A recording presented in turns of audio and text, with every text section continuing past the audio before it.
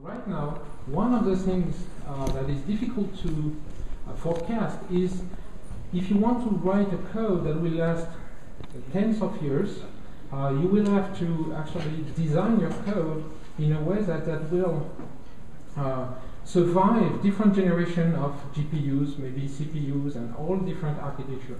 So somewhere addressing this challenge is, of course, addressing massive parallel algorithm, new development methodology and code architectures, and new programming environments.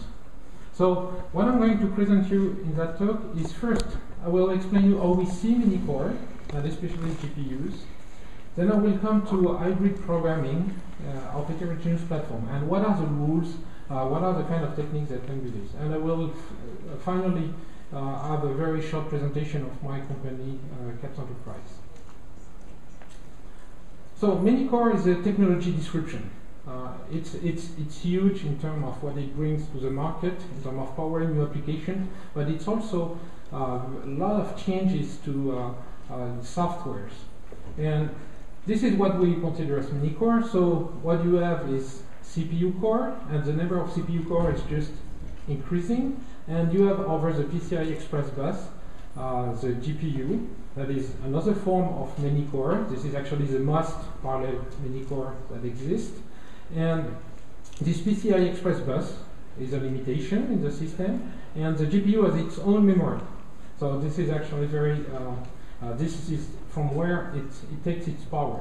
Uh, the important thing in here is the level of parallelism you need to keep such a device busy is in thousands of threads. So if we look at the different level of parallelism, uh, at the highest level, larger grain, you have message passing kind of parallelism. And this is, for instance, what people do when they do uh, domain decomposition. They slice the domain they are studying into parts, and each part is computed by, the, uh, by a node in a cluster. And between the nodes, there is message passing to exchange data and update everybody's uh, nodes.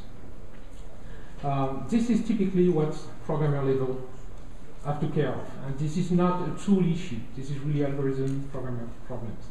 At the finest grain, you find ins uh, SIMD instructions uh, with, uh, for instance, vector instructions like SSE, AVX, and other ones. And this is mostly compiler problem. This is a part that the compiler can take care of for you. And in the middle, there is task parallelism, data string parallelism, that uh, is the one that will take advantage of many-core. And one of the issues with this parallelism, sometimes it can be into application, sometimes it's not there in application because there is no reason why it would have been put there in the first place. Uh, previous GPUs, uh, previous CPUs, sorry, uh, previous CPUs didn't require to highlight this kind of parallelism at a massive scale into applications. HMPP that is mentioned there is the CAPS uh, product uh, and uh, it's uh, oriented to data parallelism. I will talk about more about data parallelism later, but this is a favorite form of parallelism to deal with many core. And this is the one that GPU exploits right now. One of the questions we had on, on many-core is, okay, we, we talk about many-core. Many-core are coming, everybody mostly agrees about that, but when? Okay, well, can we put a date on on many core being a generalized problem. And so what we did is to draw those pictures. So uh, the light blue is the gigahertz of the Intel processors. And after 2012, that's a forecast. But basically, we are forecasting that this will not increase. Um, it, it's for the, all the reasons I said before, energy and, and uh, technological limitations. The GPU one is the orange one, and uh, at the beginning it was 128, I know it's about 512, and that's the number of course, and it will keep increasing because you cannot increase the frequency of the processor. Okay?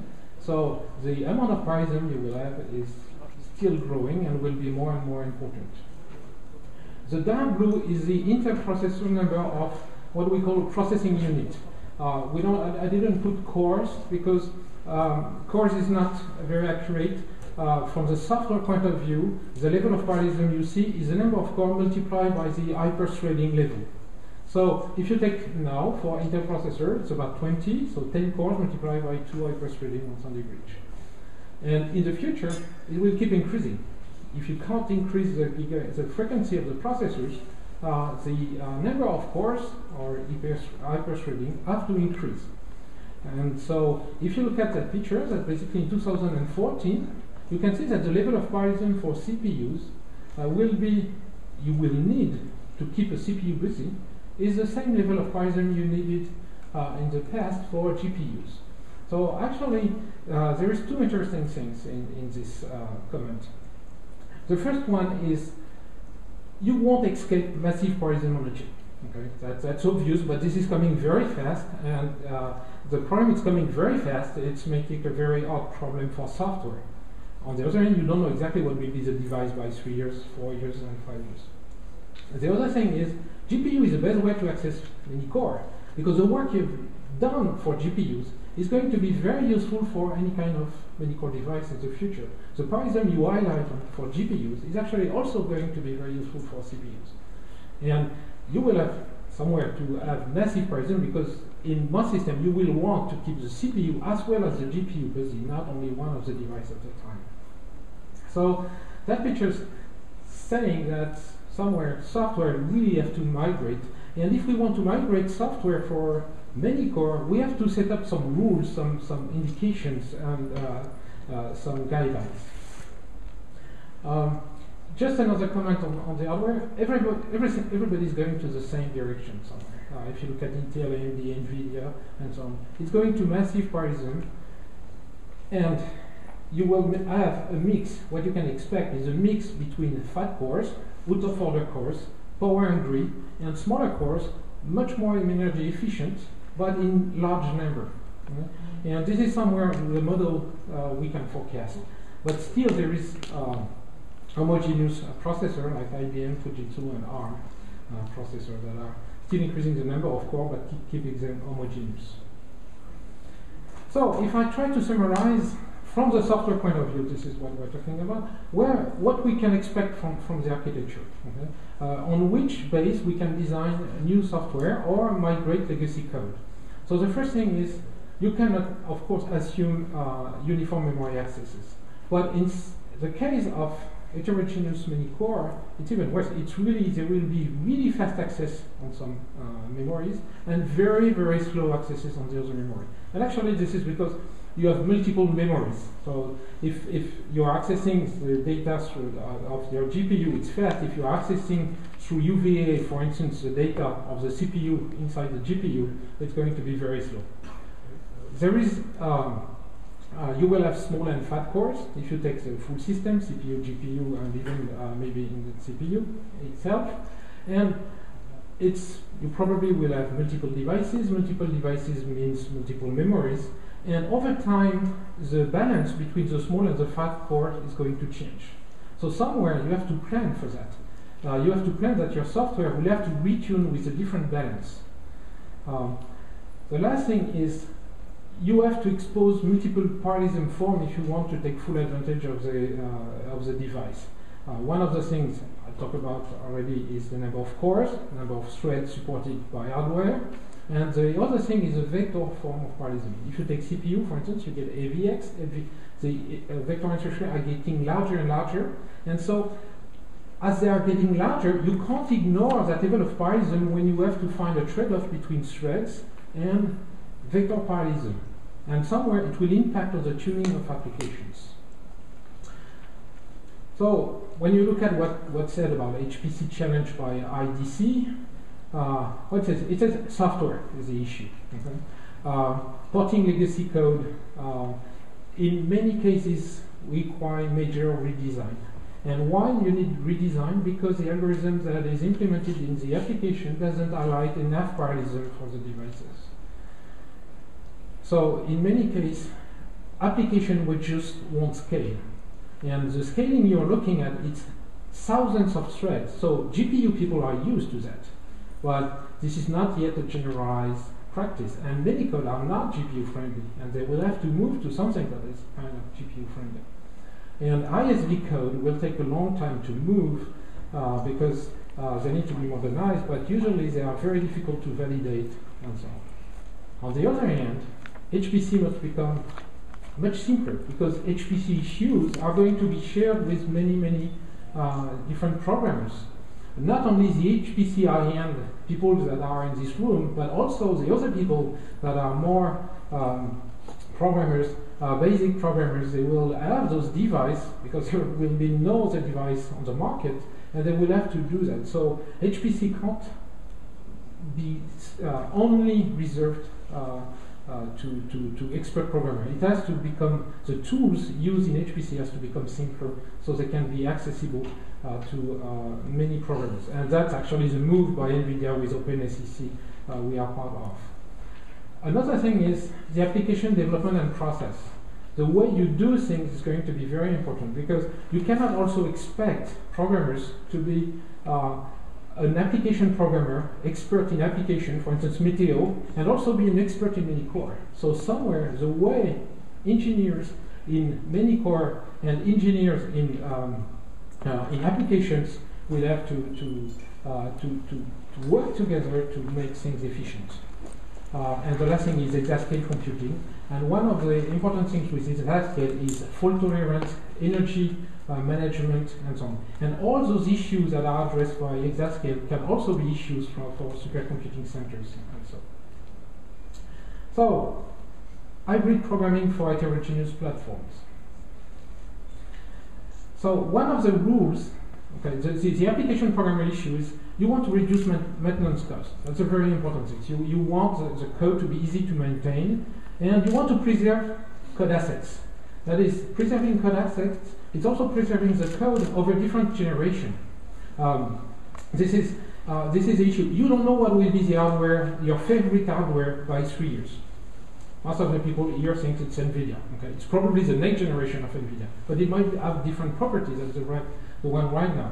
So if you want to preserve your asset, you have to find a way that you don't have to rewrite everything every uh, every time a new generation of hardware is coming and you want to keep the application code friendly to application programmer. This is actually a very complicated issue because somewhere you can achieve performance by moving, uh, for instance, many codes written in Fortran.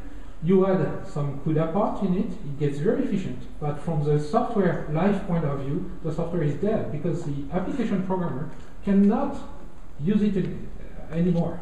He can't actually modify the CUDA code because this is not his job. So this is why directive-based things are actually interesting. Uh, because they keep the language the application programmer is used to. So if he's used to program in Fortran, he keeps his Fortran code. If he's used to program in C and C++, it keeps this C and C++ code with the C and C++ semantics. So somewhere, what we are talking about when writing code for Manycore is how to deal with uncertainties. You don't know what the future is, but you know what is your ser serial code. So let's take the serial code now, add directives that will add informations, code generation techniques that goes with the directives, and in this way you have something safe. And that's one of the ideas behind the uh, uh, behind the, the, the, use of directives. On the other hand, it doesn't solve the algorithm problem. Okay? If there is no parallelism in your application, there is no way it's going to be useful. And in many cases, uh, some assumptions will have to be reviewed because the code were so designed for a CPU with a small number of out-of-order cores, big cores, that uh, they won't fit uh, the many-core build. So if I look at the, the, the, rules, the, the basic uh, things for, for software, the driving forces, uh, the first thing is the Amdahl's law. Of course, it's, it's, uh, it's obvious, but if part of it, not the main, I mean, the main execution part of your code is not parallel, then you can't take advantage of Manycore. So in many cases, this is the first bottleneck you find in applications. Uh, the hotspots that are parallel are too small. They, are, they represent a very tiny part of the application. In this case, you're just going to be very difficult and the algorithm has to be reviewed. The other property to take advantage when you have a lot of cores, you cannot move data because moving data is expensive in energy first, and also in latency. Now, there is no way you can reduce the latency. So data locality, when you have hundreds, thousands of cores, is the main issue you have to address. And so that question needs to be addressed from the design point of view of the software, not when you have the software. You have to be able to control that from the beginning. And I already said that a lot of times, massive parallelism.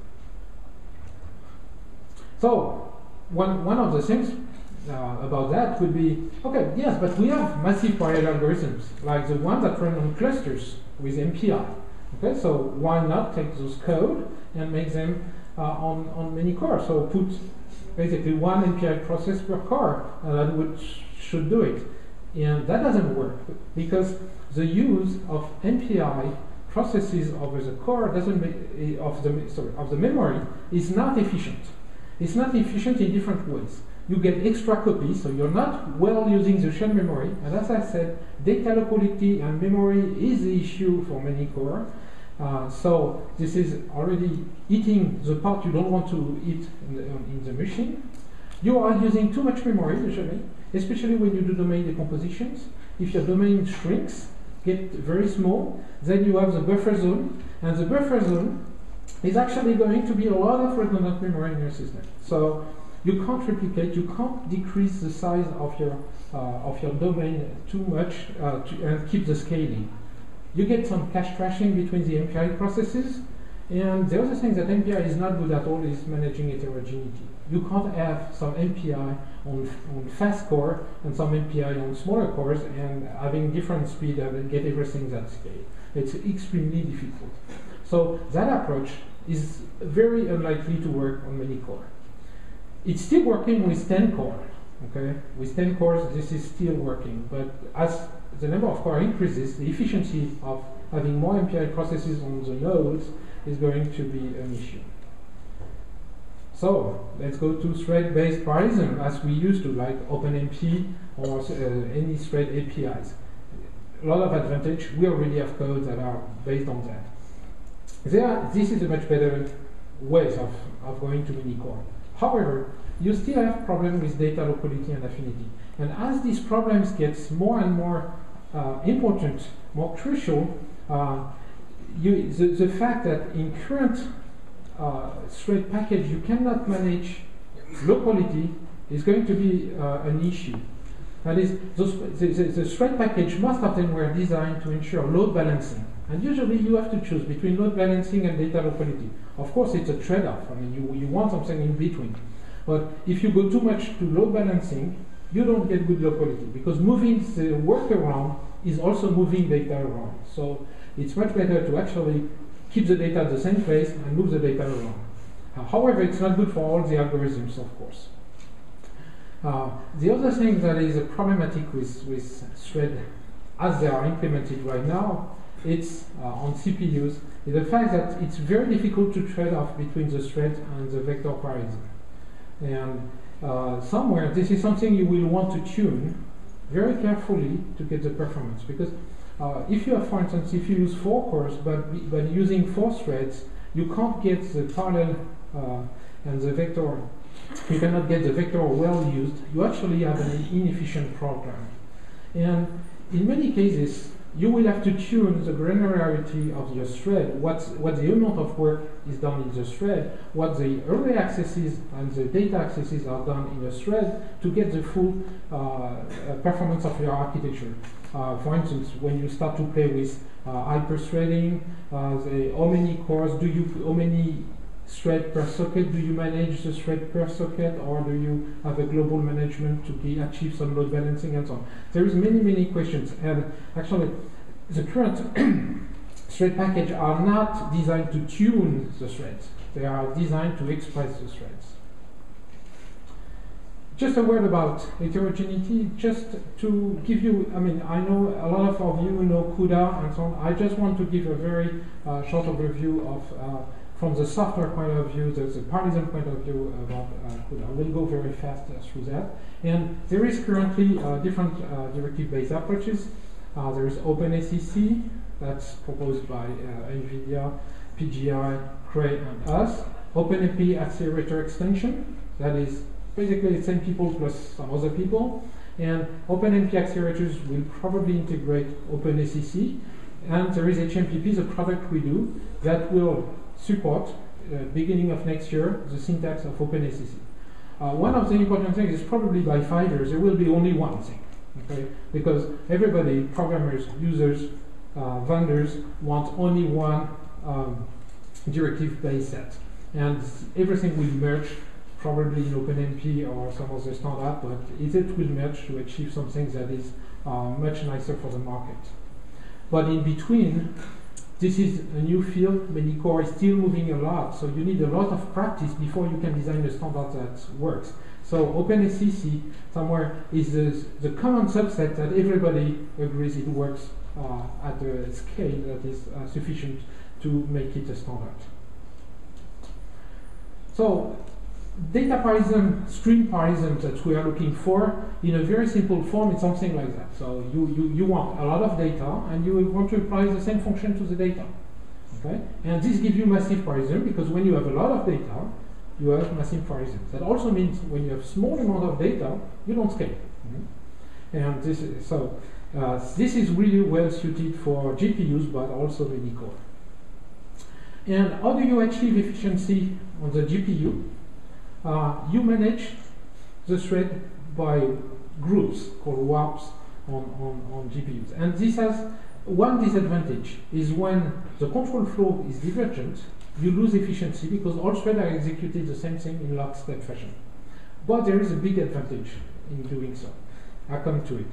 And so, from the GPU point of view, why you need massive parallelism? Because you need you have a lot of cores to keep busy on one end, and on the other end, you want the bandwidth from the memory. And the memory is very efficient, a lot of bandwidth, but very far from the GPU. So from the the, the, the, the cores. And so what you need is actually the parallelism that keep the core busy, but also the parallelism between threads that keeps the pipeline of the memory accesses busy. Okay? So you always need much more threads than you have as a member of cores. But the advantage of this way of running for GPUs and especially CUDA uh, uh, NVIDIA devices is because they work in lockstep, when somebody is doing, when a thread is doing a load, every other uh, threads are doing uh, the same load, not at the same address. And so the hardware that is clever actually optimize the accesses by parallelizing the memory accesses. And this way you get very efficient memory accesses and very fast memories. But that requires that when you programming, you take that into account because when that doesn't work, the performance is really bad. And most of the performance of the GPU is coming from these great memory systems that can load a lot of data to the cores. So this is a property you need to take into account when you're dealing with the GPUs and efficiency and performance. Uh, CUDA is very simple, okay, and this is a very nice property. Uh, this is uh, just a kernel, you have seen all that, and it's very explicit and very easy to teach. Actually, uh, we like to use CUDA to teach parallel programming because this is the best way to actually introduce all the notions and the performance issues. And you see in that code, you can explain the PCI Express bus to the uh, CUDA memory transfer, so explain if you have a lot of those and so on. And this is something you don't see with the directives. So when we teach directives, uh, we want to first teach CUDA because people start to understand the machine models that is underlying, uh, that CUDA is underlying, and then uh, you get the uh, um, you, you explain directives, but people understand the, the, the, the, model behind it. The other one that OpenCL. OpenCL is uh, is is same thing, same parallel model as CUDA, right? So so that's actually great. But the the uh, the runtime is is uh, is actually lower level, and it's portable syntax, not portable performance. And one of the reasons for that is if you take an AMD device and an NVIDIA device, the memory structure is different. So on one end, you want coalescing to happen on NVIDIA. On AMD, you want uh, you want uh, you want vectorization to happen to get the bandwidth from the memory. And there's actually two different ways of programming in OpenCL. And if you go on GPU, it's again a different tuning. So same, par same parallel model. Uh, runtime API are different and CUDA, uh, but CUDA is more advanced. CUDA, not being a standard, can actually be uh, uh in the forefront of, of, the, uh, of, the, of the features and actually bring new things that then can eventually go to the, uh, to the standard. So it's important to have this actually kind of programming model that may not be standardized, but that can move very fast in technology and propose new solution, and then standard can say, okay, this is a good solution, you keep it. And you need that for many core because there is so many things to still discover and to actually analyze before it become a, a best practice that uh, we need this. HMPP is a directive-based we do. Okay, so it's sold by, by, by us. And the idea is very simple. The idea is to say, okay, I want a functions. We call it a codelet because it can't accept all code uh, of an application. It has some restriction, like IOs, for instance. And this codelet, we say, I want it to run on the on the GPU. Okay. So what you do for that, you will generate a CPU version. You will generate that will be your backup. You will generate a CUDA version uh, from the code of the application. The parallel loops inside will be used to generate the CUDA kernels, the parallel CUDA kernels.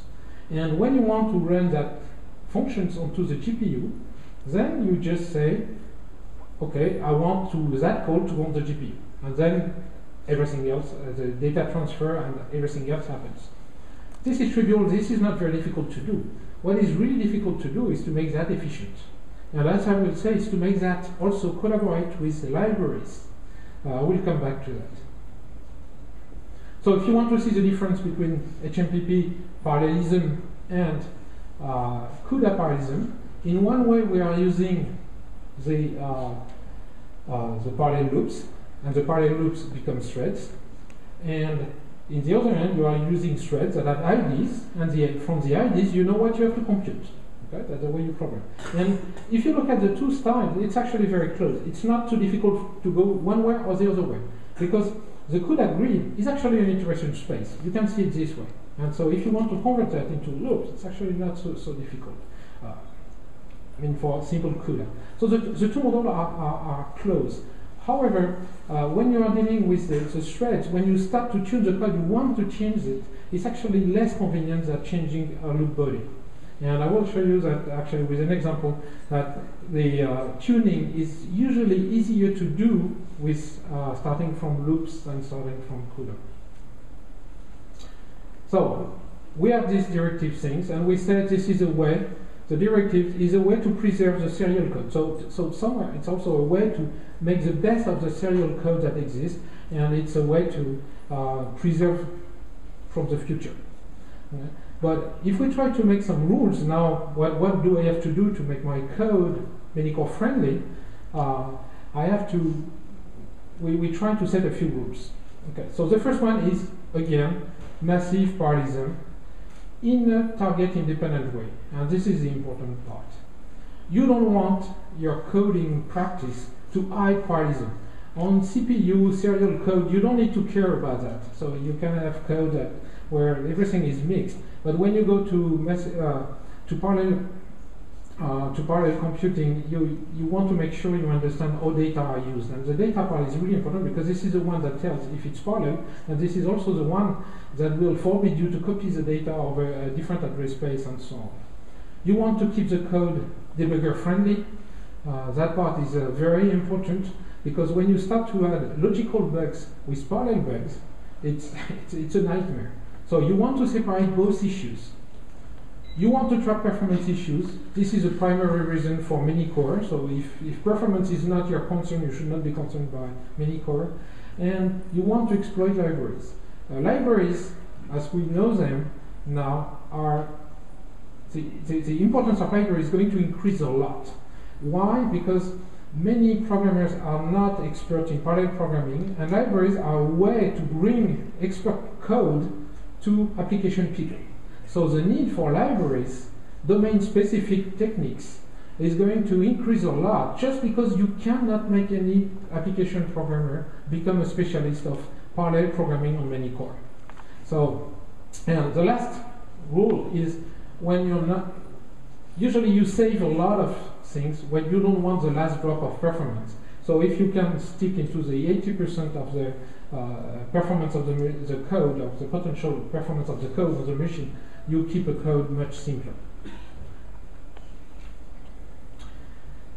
So, data structure management. Uh, I want to stress data locality. One of the things is uh, you want to be able to move data easily from one address space to another one. Uh, that is, your data structure must be easily serializable. Mm -hmm. Otherwise, you can't move them on the GPU or in another device, and you don't even know in the future how much of the memory will be kept coherent because when you get thousands of cores, that operation is not trivial, and if it's there, it's expensive anyway. You don't want to waste memory. The number of the memory per core is not increasing. So if you start to waste memory, you will get more thrashing and more issue with uh, uh, performance.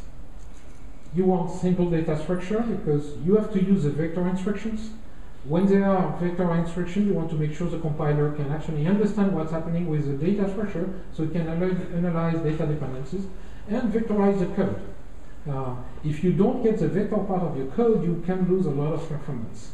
You also want to make sure that your data structure are designed with the libraries in mind. And uh, libraries usually have their own ways of understanding the data structure and you want to, to cut. And lastly, if you look at, for instance, sparse matrix uh, computation, if you look at the one for CPUs and the one for GPUs, usually they are not different. They are not the same, sorry.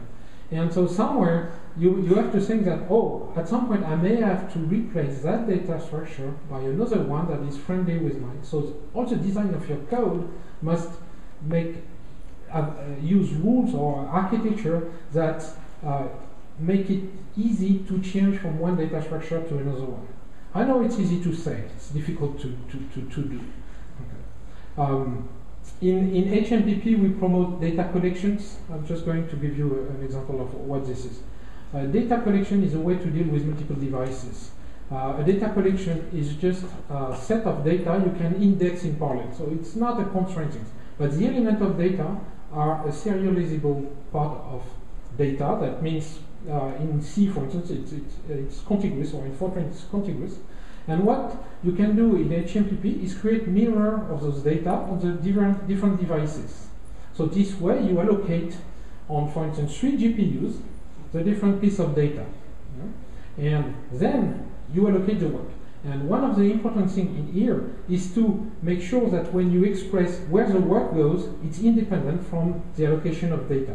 I'm going to show you that just after. You want to expose massive parallelism. I'm really interested in parallelism. Uh, you don't want to hide it uh, by awkward coding. Uh, we, we see when we are dealing with code, when you have 20 levels of calling in a sequence, you don't know what you're computing. You, you, you, you have so many uh, calls by calls and calls and so on. So it is extremely difficult to parallelize the code and to understand data dependencies in those codes. And somewhere you want to separate constraints between functionality, application level, and performance coding. So if you can do that, this is great because then that means the application programmer will stay in his expertise domain and the computer science domain can come in and actually tune the code.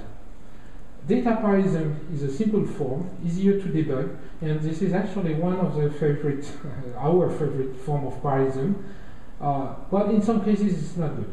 Okay? For some application you can't use it, but when you can use that, it's actually very convenient. It's convenient for many devices. It will work for CPU and it will work for GPUs. Um, and the, the, with data parallelism, you make a choice. You're not going to load balancing. You are going to data locality. So depending on your the pain of one or the other. At the kernel levels, uh, they have to be massively parallel. You cannot afford kernels that are not uh, granularity is too small. And the things you have to think about is about data affinity. Do you understand the data affinity between your kernels? That is, if a kernel is using the data, is the other kernel using the same data? And do you know where all the data will move around the machine? If you don't know that, that means you are not controlling, you cannot tune the code, you don't understand the performance of your code. And the other thing is, you need massive parallelism because you need to tune the ratio between vector and thread parallelism. This is a parallelism in HMPP. Again, uh, we have two levels. We consider the one in codelets, so the parallel loops inside the functions will be used to keep a device busy. Okay? And between the device, you can have multiple calls on the different elements of the collections. The collection here is here is D0, D1, D2, D3, and you have a mirror D1, D2, D3 uh, into the device memory. And what that loops does it says you run in parallel over the different devices uh, these codelets that will exploit the parallelism inside the device. What is nice with this way of writing, it's it's serial code. It has a serial semantics, so it's a normal C code or normal Fortran code. And on the other hand, it doesn't say where the computation is. Okay, so it's independent on where the data have been allocated.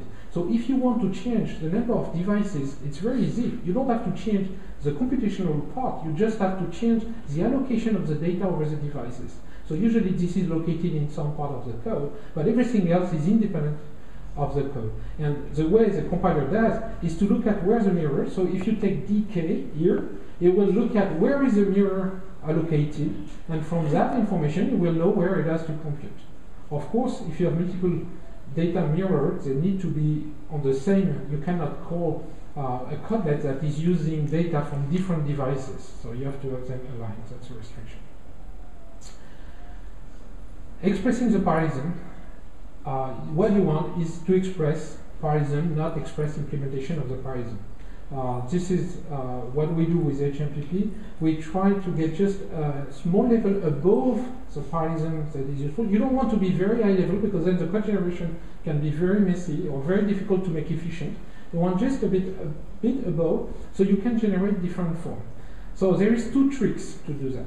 The first one is to focus on some form of parallelism. Here is data parallelism in parallel loops by focusing on this range of parallelism, you can actually have a very large set of device you can address. You restrict the form of parallelism, it gives you an advantage in code generation. Uh, this is what, and this is uh, the right side is the um, uh, is, is HMPP uh, directive. The first one, gridify. It's a way to express how to partition the iteration space on different devices. And you, you may want a lot of different uh, ways of partitioning depending on the device and depending on the computation, depending on the number of cores, depending on the vector size, and so on. The other things you have is HMPP-CG unroll and jam is a way to control the amount of computation, computation and memory accesses uh, into your threads. And this way it's easy to, to tune because usually the part that uh, is is specific to a machine are the values. So depending on the computation, you will have different program transformation. But what will change from one machine to another one is the values. And we have seen that, for instance, between uh, Tesla 1060 to uh, Tesla 2050. Uh, we had to retune the code, and usually it was limited to changing the grid size and changing the overall engine parameters, because that part are really to do with the machine configuration. But this is too easy to do this way. Okay? Uh, just to highlight the fact that being a bit high level is, is, is a way to preserve the code and just expressing the parallelism is imagine you have to transform OpenMP into vector ISA because the machine is mostly based on the vector ISA instructions. This is almost, you can't do a compiler to do that. You cannot do a compiler that take OpenCL code and transform it in OpenMP. But you can take an HMPP program, it will generate uh, OpenMP, CUDA OpenCL, and vector ISA. OpenMP generation, thread generation is planned for next year. In the next release, it's already working in house. So, how, how, much performance do I lose by going through directives? Uh, not much. Not much. Basically, we took the, the, the, the cuBLAS and Magma. This is a useless programming. We, we just wanted to see can we use directive to generate the best, what we know to be the most efficient uh, optimized code on, on, on Tesla. And uh, cuBLAS and, and, Magma has been highly tuned on Fermi, and uh, we, we, so with HMPP we got within 10% of the best performance. Why do we have this 10% difference? Uh, it's mostly because we, when you generate the code, you can't control as much the register locations, and you have some temporary variables that mess up a bit with the compiler, and in the end you lose a bit of performance. That is another DGEMMS and uh. And actually, if you look at uh, SGEMM, DGEMM, and ZGEMMS, they don't have the same profile in terms of use of data and memory bandwidth. This is an example in the other way. That is, you get better performance with HMPP uh, than with uh, CUDA uh, coding. And this was done not by us, this was done by somebody from CEA in France. And he wrote a CUDA version and then an HMPP version and actually got better result with HMPP. The reason is not, it's not a limitation of CUDA. We generate CUDA code, so there is no reason why you would not achieve that. But the thing is, it's easier to tune the code starting from a higher level than starting from CUDA. And this explains the difference. The programmer got bored to optimize the CUDA code. So at some point he did stop, and when he went to HMPP, he could actually tune more and get more just because uh, that was requiring less effort on his side. So in, we have seen that frequently that uh, the, the, efficiency you get from directives uh, pays off in terms of performance. It's not intrinsically, I mean, then you can look at what the code has been generated and propagate it back to CUDA. Efficiency actually makes tuning better. You want to track law in your code, um, since Parallelism is about performance, this is what you want, and you want to add that to your uh, uh, part of your validation process, and you want to check scalability. Most of the time, uh, we look at it, it's, actually, it's, for some, some code, it's difficult to implement in a uh, continuous integration process because the code is difficult to run on long, long time run.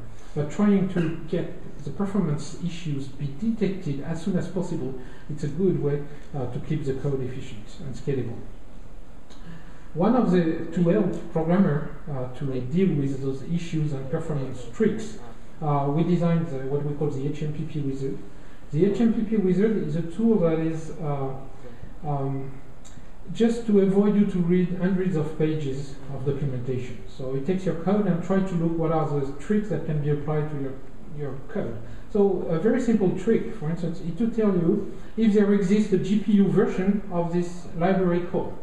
So for the BLAS one, it's easy for uh, the FFT, so some FFT, it's easy. But for some other, you may not know if there is the FFT equivalent.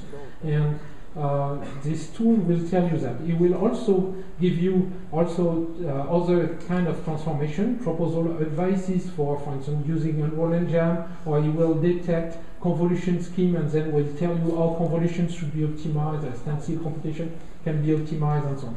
So it's a very basic things, but it's a way to um, it's a way to promote um, to, to, to give you access in an easy manner to all the tuning um, practice you can, you can add.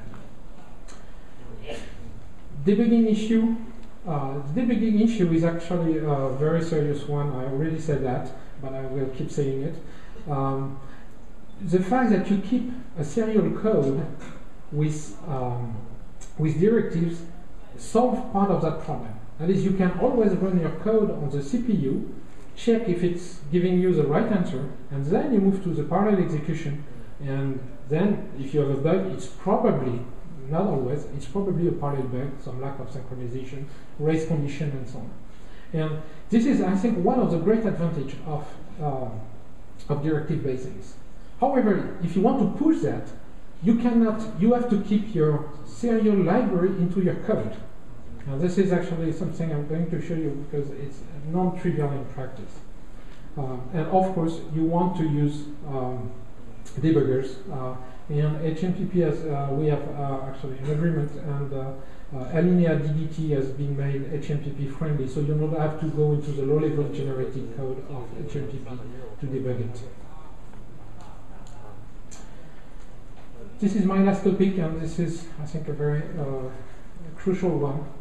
Um, if you want one source code, you cannot replace, for instance, a FFTW code by a cuFFT code, because then you have two codes you, you don't have a code that works on the CPU uh, version of the code. And frequently, all the libraries, they have their ways of seeing data structure or they seeing uh, initialization and so on. Uh, the other reason why in most code you cannot change the libraries, the serial libraries that was used in, in the original code, in the legacy code, is because you don't see all the code. So other part of the code might be using that library. Um, and, and so, again, for, for debugging. Uh, there is one big issue with libraries is the data. Where is the data? Where is the updated data? Uh, most of the libraries like FFT, BLAS, and others, they are all assuming uh, shared memory. And so they are not considering that there may be copies of data uh, around. And the efficiency of those libraries depends on if the data is already on the GPU, I can use a GPU-based library, otherwise I can't because it will be less efficient. Um, another thing is libraries can be written in many different languages. You can have uh, libraries written in CUDA and so on. So you want to mix all those things. Um, so let me show you what comes into uh. In HMPP, we have this called proxy mechanism. So you can annotate with the directives uh, uh, a library call. And what it will, HMPP will do, it's, it will replace that call by the proxy. Okay? So if you ignore the directives, this is the original code, and if you compile with HMPP, this is the proxy code.